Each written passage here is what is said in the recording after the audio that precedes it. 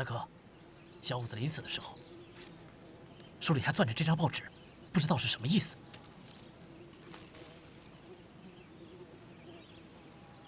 这是三年前的一张旧报纸。小五子肯定在这张报纸上发现了他们什么线索，所以他们才要杀他。大哥，要给五子兄弟报仇啊！对对，报仇！这个仇一定要报，我还要让他们血债血偿。这个人杀人凶残，一刀双刃。你们仔细的想一想，师爷手下谁最擅长用这种刀法？嗯，啊，好像师爷手下面那个留小胡子的。小胡子。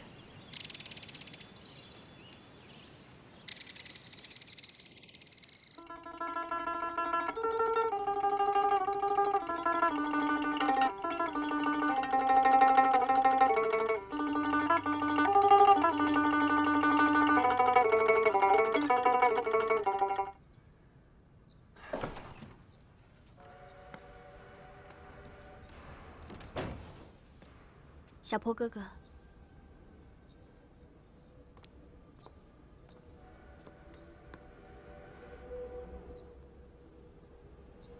柯先生有你这样一个有情有义的学生，我想他在九泉之下也能瞑目了。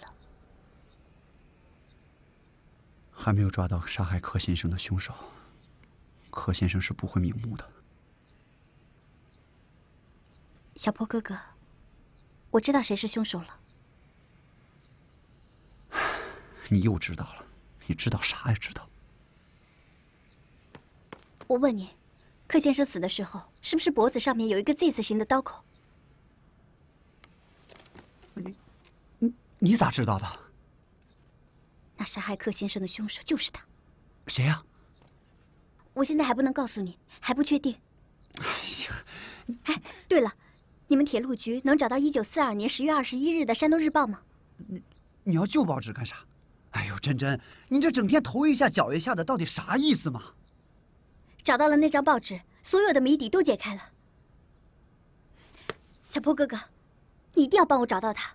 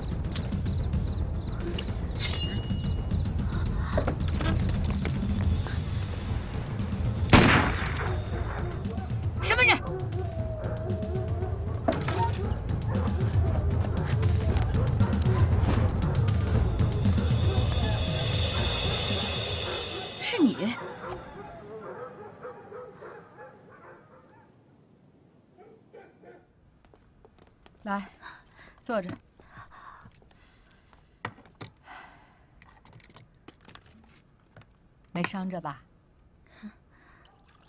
跟我说说，到底是怎么回事？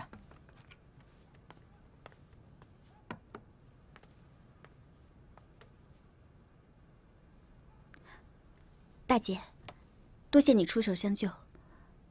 如果不是你出手相救，我可能就再也见不到我的那些弟兄们了。谢就不必了，他们都是些什么人？你跟他们怎么结的仇？你不说我也知道。如果我没有说错的话，你就是筷子会的头，他们都叫你小李九，对吧？我不是头。我只是个摆设。那，他们为什么要追杀你？追杀你的都是些什么人？他们是日本人。日本人。嗯。金浦铁路军列爆炸案就是他们干的。德国工程师克里特先生也是他们杀的。我现在是在暗中调查他们，所以，所以他们就要杀我。姑娘，喝点水。你知道吗？你现在的处境非常危险，只有一条路可以走。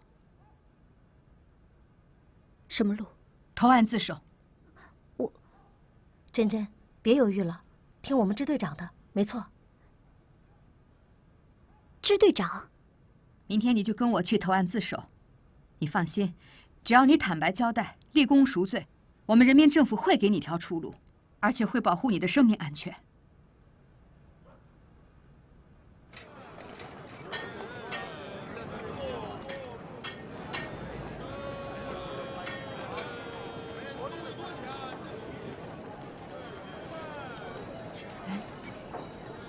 珍珍，你怎么犹豫了呢？啊？咱不是说好了吗？说好的事情不能变啊！走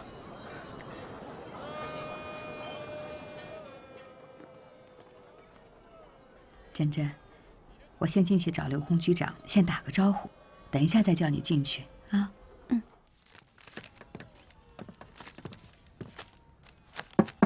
进来。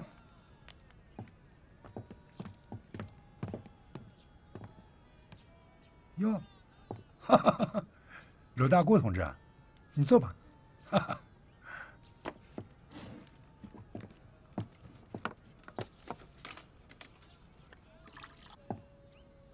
哎，喝口水吧。我听说你在调查这个郑祥和跟踪他。哎呀，鲁大公同志，你应该相信我这个局长。哦，不不不，你应该相信我们。刘红同志，我不是不相信你们。我今天来呢，谈的不是这件事情啊。我是有个很重要的线索来给你汇报。你跟我汇报？对呀。那。那你说，你说，筷子会你知道吧？我当然知道了，不就是那些毛贼吗？啊，啊，你说，我昨天救了一个筷子会的人，从他的嘴里知道了一些非常重要的线索。啥线索？日本人。日本人。我跟你说呀，这个筷子会鱼龙混杂，他们当中什么人都有。我救的那个人叫珍珍，他说有一个日本人。就是筷子会的军师，而且他还跟我说，铁路爆炸案就是这个日本人策划的。啥？这个军师是日本人？对。王八蛋！这只黑手，果然他娘是日本人。卢大公同志，你等着，你等我抓住他，我亲自把他崩了。刘洪同志，你先别着急嘛，这个人我给你带来了。具体情况你再仔细问问。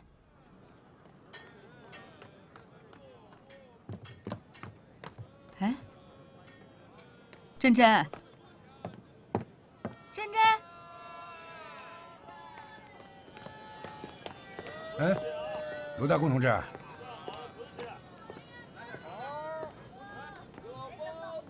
你带来的人呢？刚才就在这儿呢。行了，你别蒙我了，我没有闲工夫跟你瞎扯。哎呀，你说我蒙你干什么呀？哎，小同志，刚才我带来那小女孩，你看见了吧？看见了，她走了。你进去没多会儿，她就走了。走了。啊，这个真真，都擦干净点啊！好。局长，啊，哟，你们好啊！红哥，你咋来了？嗯，我来找你有点事儿，啥事儿啊？坐下说吧。哎，哎，你们两个下去忙点别的吧。红哥，坐。啊，坐吧。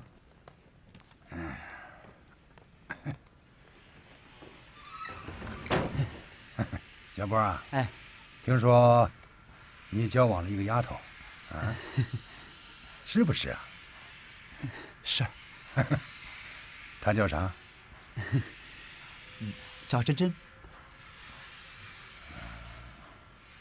她最近来找过你没有？哦，那他有两天没过来了。啊，咋了，红哥？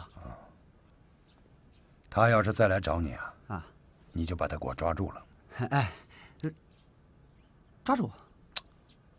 就是别让他跑了，明白吧？啊，啊，红哥，你这头一下脚一下的，到底咋回事嘛？你真不知道？不知道啊。你知道这个珍珍她是干啥的？不知道。他是筷子会的人。小李九，你知道吧？嗯，小李九就是珍珍，这个珍珍就是小李九。所以啊，你一定要把他给我抓住了，啊！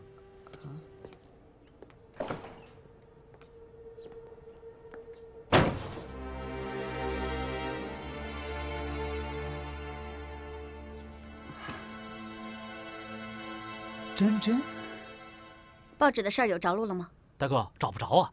三年前的旧报纸哪有那么好找的？我找了好几家旧货店，有的有旧报纸，可就是没有一九四二年十月二十一日的《山东日报》。不行，一定要找到。只有找到他，也许咱们才能解开一个天大的秘密。可是上哪儿去找啊？哎，对了，学校里会不会有啊？嗯你们要多动脑筋想办法。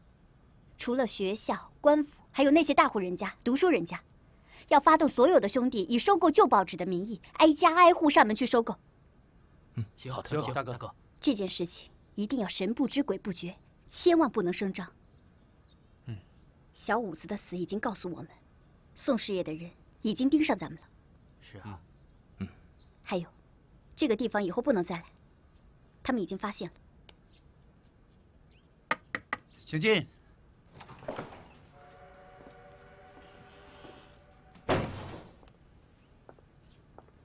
小坡哥哥，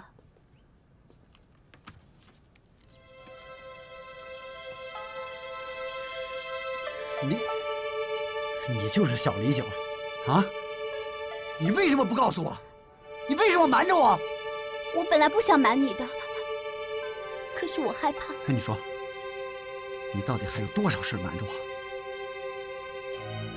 我还有好多事情瞒着你。你本来我是要去投案自首的，是你们鲁支队长带着我，就是那个女的，三十多岁。我知道，那是鲁大姑同志，运河支队的。那天，他带着我到了铁路局门口，去找刘局长，让我把所有的事情都交代清楚。可是，报纸还没有找到，宋师爷是谁，这些秘密都没有揭开，我怎么能去向刘局长交代清楚呢？所以，后来我就就跑了。啥宋师爷？啥报纸啊？就是上次我跟你说的，一九四二年十月二十一日的《山东日报》，你帮我找了吗？我帮你问过了，铁路局是新成立的，根本就没什么旧报纸。也许有一个地方有，你可以帮我找到。我今天来就是因为这事儿。哪有？你说吧。枣庄火车站，那里的报纸不都是给旅客阅读的吗？他们，他们可能把旧报纸保存下来了呢。我帮你问问。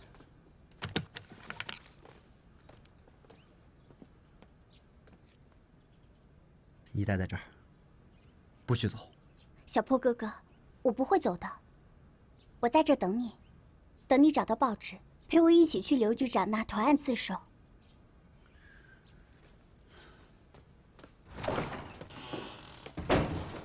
就是他，他在筷子会里面是军师，弟兄们都管他叫宋师爷。宋师爷。嗯。难道这个宋伟他还真活着？丫头，那你说说，你还知道啥？筷子会里面还有一批日本人，他们都是听宋师爷指挥的。还有小票车上被劫的那个姓吴的，也在筷子会做账房先生。他们杀人越货、爆炸军列，都是听宋师爷指挥的。你是说这些事情都是这个宋师爷指挥的？是。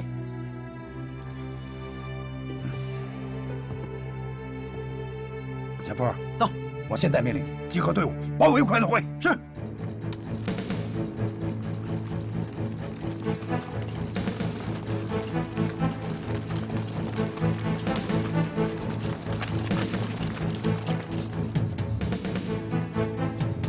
小波，到！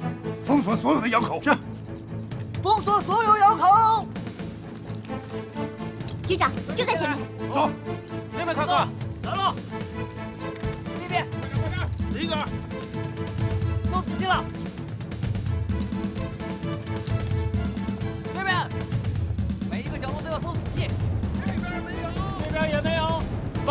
搜过了，没人。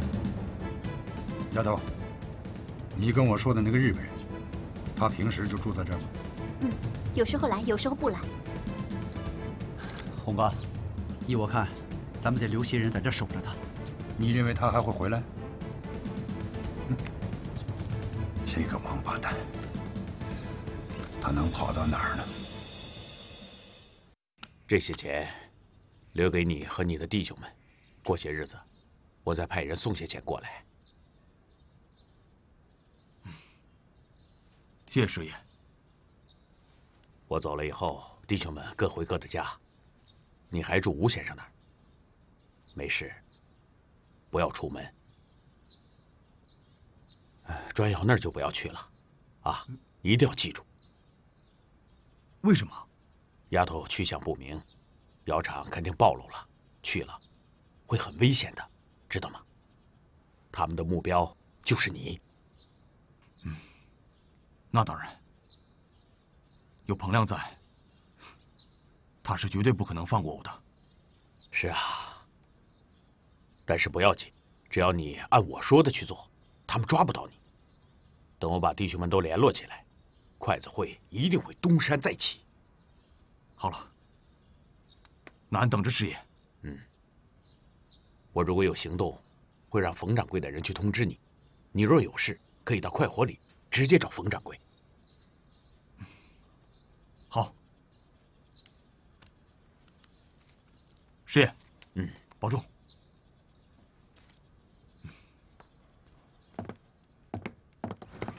政委，啊，政委，老洪啊，哎，你看，这报纸你看过没有？看过啊，这不老报纸吗？对呀，这个人，这不松伟吗？对呀，松伟这个狗日的他真没死啊！他就是筷子会的黑手啊！找到证据了？小李九告诉我的。这个松伟啊，就是筷子会的师爷。我得知这个情况以后，我们就去抓他，没想到让他给跑了。哼！哎呀，他奶奶的！哎，政委，你说这天底下，他还真有长得一模一样的人？嗯，我原来对这事儿就有怀疑，但苦于找不到证据。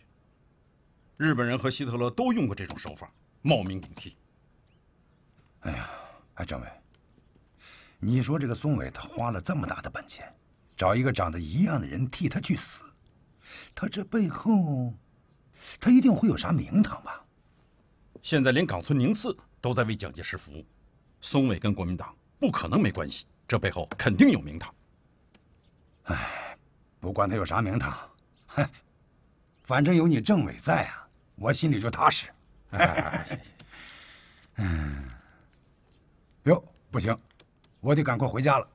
你回家干啥？啊？回回家做饭啊？你算了吧，嫂子在家做饭呢，还用你？哎呀，哎，我我跟你说啊，这个，我走了啊，走了啊。什么呀，鬼鬼祟祟的。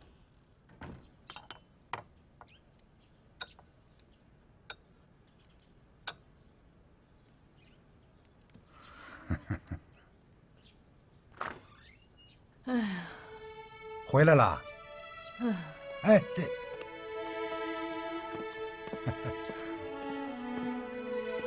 转悠了一天，也没等着那只兔子。哎呀，老婆，你看那饭已经做好了，你是先吃饭呢，还是先歇会儿呢？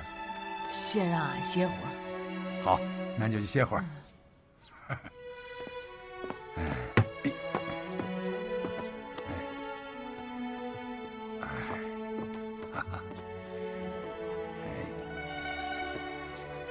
来来来来，来靠这儿歇会儿，来，靠靠着靠着，哎，来把腿拿上，哎，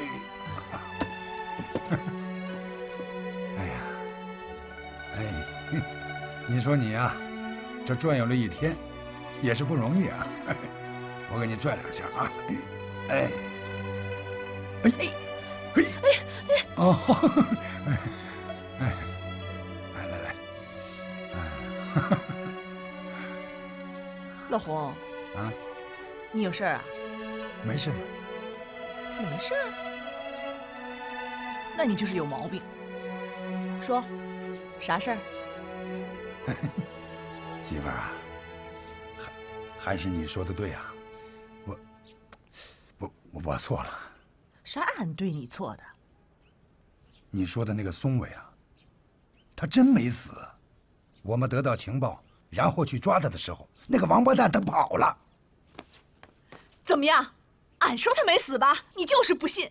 现在你相信了吧？成天跟俺鼻子不是鼻子，眼睛不是眼睛，怎么样？你说啊？哎呀，我不是跟你说了吗？我错了吗？这叫啥认错呀？那还咋认错？你总不能让我给你跪下吧？你就得给俺跪下。你跪不？跪不跪？哎呀，行行行，哎呀，媳妇儿，我错了，行了吧？哎，俺跟你闹着玩呢。你说说，宋伟那家伙到底跑到哪儿去了？他就是跑到哪儿，我也要把他抓住。嗯，媳妇儿，你可真行。我给你捶捶。特派员，你看。京浦铁路总局刚刚发来急电，老头子又在重庆骂人了。交通部长已被撤职，津浦铁路如果不能在规定的时间内通车，老头子扬言一定要杀几个以儆效尤。哎，咱们三个人的脑袋能在脖子上待几天，可就没法说喽。对了。咱们可以向徐州求救啊，让徐州出兵，反正早晚也得打。是，这是最后一步棋了。罗代表，我已经跟你们说过了，不要指望军队解决问题，以后不要提这种荒唐幼稚的建议了。我荒唐幼稚？要不是你荒唐幼稚，咱们今天能落到这个地步吗？这都什么时候了，你还秋后算账，相互埋怨？且不说为了党国的大业。就是为了保住自己的脑袋，我们能不能团结一点，大度一点？你自视清高，自视高明，你把我们都当成阿斗了，你还让我们怎么和你团结？你说话要负责任。哎呀，你们两个不要争了，好不好啊？我们应该尽快破解眼前的僵局啊！破僵局只有一个办法。什么办法？丢卒保车。嗯。你说吧，怎么丢卒保车？共产党不是一直要求缉拿凶手吗？嗯，我们就把你手下的喽啰给他们送两个，堵住他们的嘴。不行，军统的人都是党国的精英，经历过生与死的考验，我不能出卖他们，就是打死我，我也不能交出自己的弟兄。哎呀，特派员，无论你的人多么重要，他也不如津浦铁路重要，更不如我们项上人头重要，对吧？就是啊，咱们不能为了这件事，把咱们自己的小命都搭上。是啊。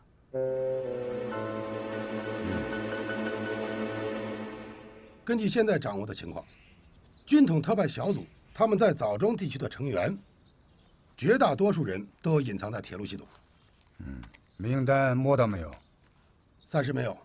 目前我们怀疑的对象只有郑翔一个人。那他们的电台，军区敌工部查的咋样？也没查到。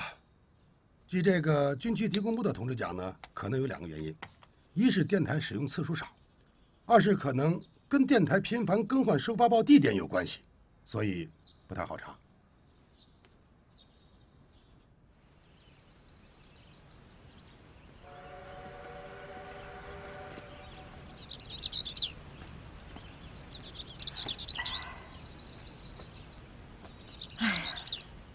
小菊，嗯，咱们都找了这么多天了，你说电台怎么就找不到呢？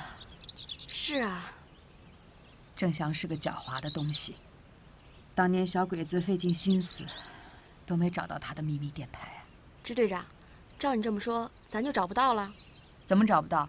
他铁道游击队找不到，咱们运河支队不可能找不到。那你说咱咋找啊？我想。郑祥一定是把电台藏在一个让人意想不到的地方。这个意想不到的地方是啥地方啊？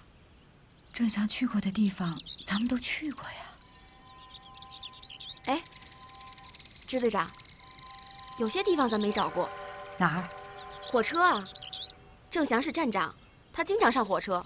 对呀，我怎么没想到呢？走，去火车站。哎，支队长。这么多火车，咱们上哪找啊？咱一辆一辆的找，我就不信找不到了。走。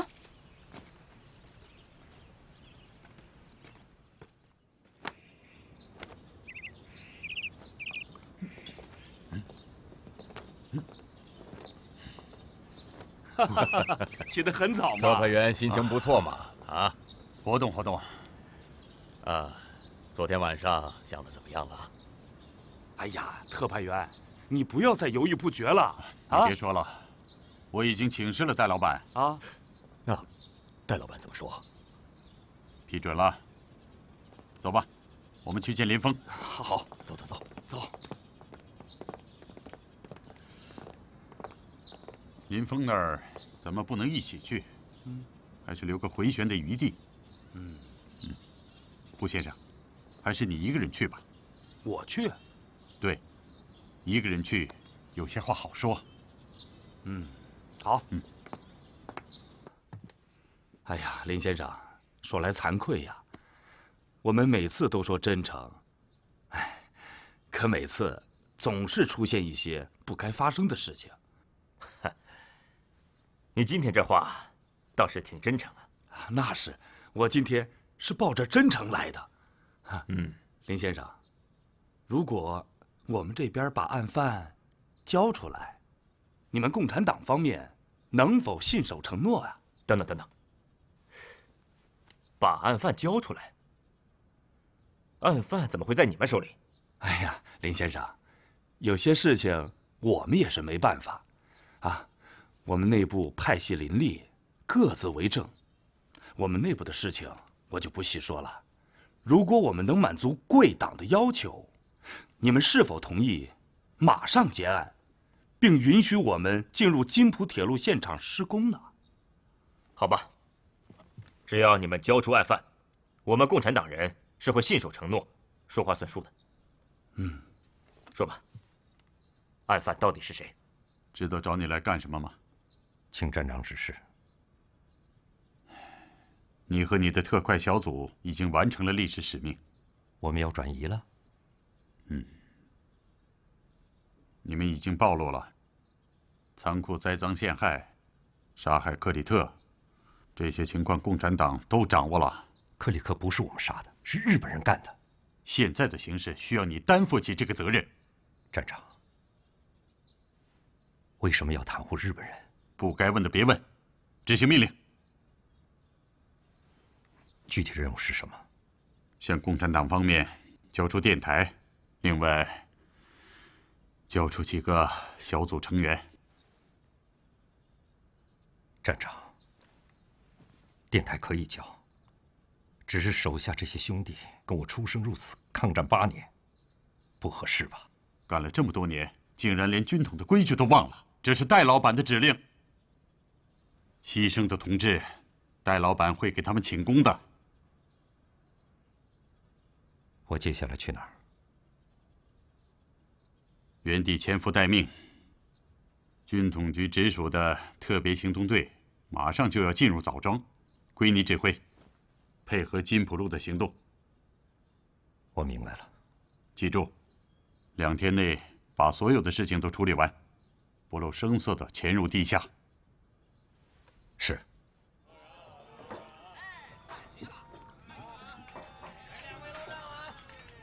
张大哥，咋的了？我瞅着你今天有心事儿。仓库栽赃的事露馅了，并且刘红他们已经知道是我干的，马上就要来抓我。啥？露馅了？他们会不会连我也一起抓起来呀？他们暂时还不会动你。事情发生的时候。我是仓库主任，而且跟你接触频繁，我脱离不了干系。我不会把你牵连进来。我现在要给你指出一条路，你必须马上去主动报案，一定要告发我。不可能，我孙玉田干不了出卖朋友的事儿。你必须得这么去做。要知道，这是保护自己的唯一办法。至于到时候怎么自圆其说，记住了，事先自己一定要好好动动脑筋。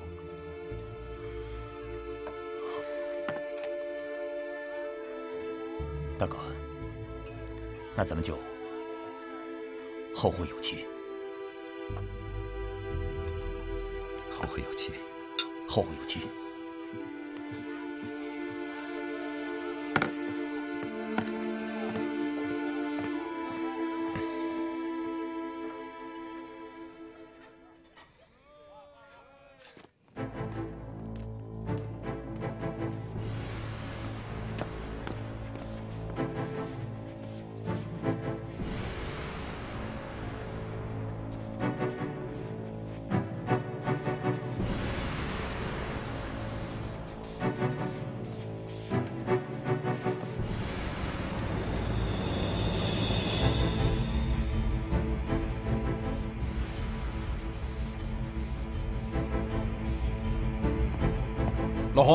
政委，嗯，这是林代表刚刚给我的潜伏特务的名单，你看看。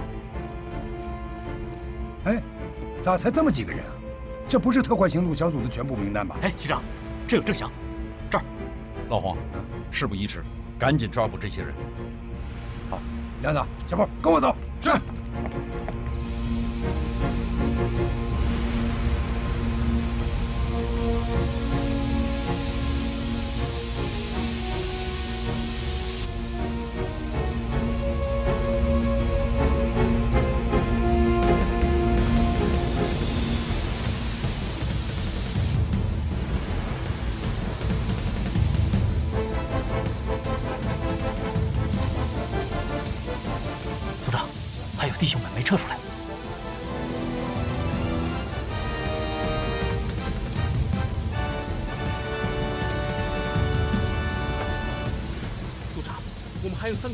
撤出来的，我们不能扔下他们。他们已经暴露，撤不出来了。不，完全来得及。你是故意把他们留给共产党的。执行命令，发射。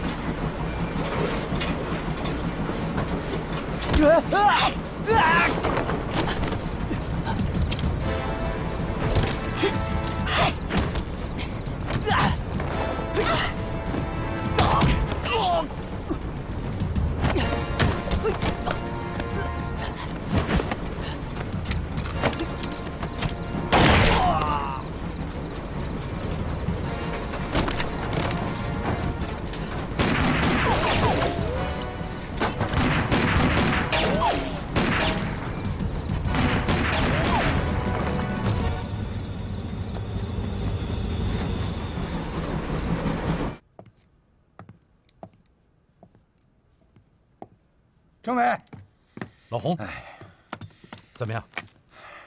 他奶奶的，硬是让郑祥这个王八蛋给跑了。郑祥住的那个小院，我带人前前后后、仔仔细细的搜查了一遍，既没有发现电台，也没有发现任何可疑的东西。你说这是咋回事呢？政委，局长，关毅，您这边情况怎么样？抓住三个，有一个开枪拒捕，被我们当场击毙。人呢？彭科长正在突击审讯。好，好啊。啊？哎，鲁大姑同志，你咋成这样了？咋回事？这是？我我在火车上发现了郑翔，还有电台。他他跑了。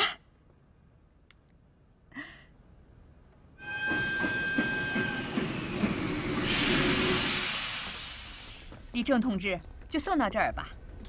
好。怎么着，刘红同志，你还在生我的气呢？啊，我咋会生你的气呢？我这个人呢，从来不跟女人生气。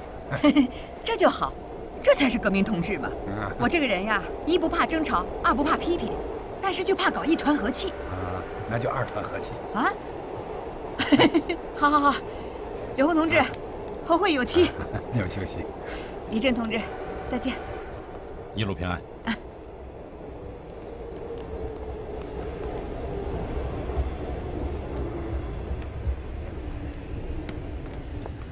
有啥看的？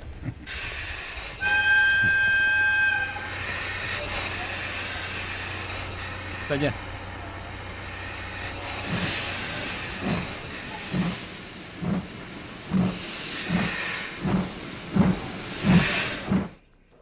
各位，耳听为虚，眼见为实。我刘洪没有说假话吧？我们共产党人是说话算数，这回你们可以相信了吧？那是，哈，相信相信，你们共产党人言必信，行必果，一诺千金。我胡某佩服佩服啊！请问刘局长，这个损毁路段的施工什么时候可以开始啊？那清理完现场以后，我们马上就开工。但是，修路的资金要由你们国民政府来承担。你放心，啊，金浦铁路总局已经向交通部打了报告，资金由交通部直接拨发到鲁南铁路局。这就好，那就请各位放心吧。现在工程指挥部已经成立了，由我们的刘洪局长任总指挥，由我们的关副局长和胡代表任副总指挥。嗯，到时候就请你们来验收。剪彩，等着听火车拉别儿吧。呃，既然没什么事儿，我们先走吧。好，我们走了啊。好好好，再见。哎，走。嗯，刘局长，拜托了。不必客气。雷江同志、刘洪同志、管一同志，我相信金浦铁路这篇文章，你们一定会做的大气漂亮。一定。放心吧，首长。再见。好，再见，再见，再见。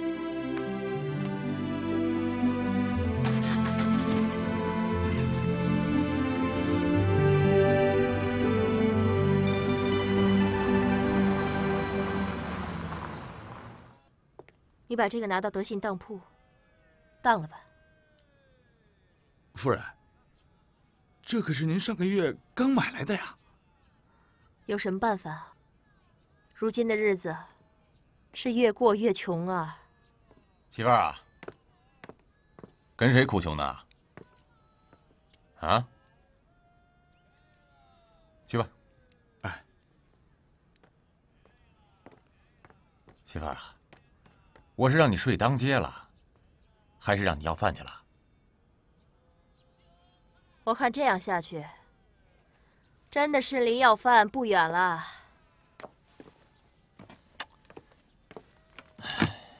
媳妇儿啊，这件首饰啊，就算是在当铺暂时存着，你放心，用不了一个月，我保证给你赎回来。瞎说谁不会呀？我白菊花混了这么多年，就剩这点家底儿，全都贴给你了，还赎回来？